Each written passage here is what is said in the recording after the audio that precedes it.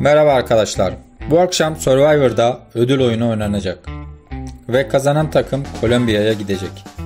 Bölümler önceden çekildiği için kazanan takım yeni yıla Kolombiya'da girmiş olabilir diye düşünüyorum. Oyun fragmanda gördüğümüz üzere güç ve hızın ön planda olduğu bir oyun. Ancak oyun finali ile ilgili bir şey göremiyoruz.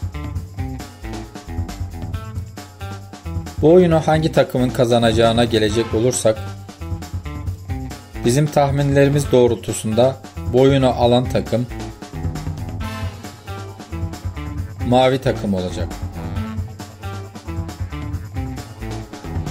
Evet, ödül oyunu oynanıp kazanan takım ödülden döndükten sonra eleme potasındaki iki isim düello oyunu oynayacak. Doğukan ve Yaman'ın karşı karşıya geleceği bu düelloda ise bizim tahminlerimize göre Doğukan düelloyu kazanarak hem kendisini potadan kurtaracak hem de önümüzdeki hafta dokunulmaz olacak.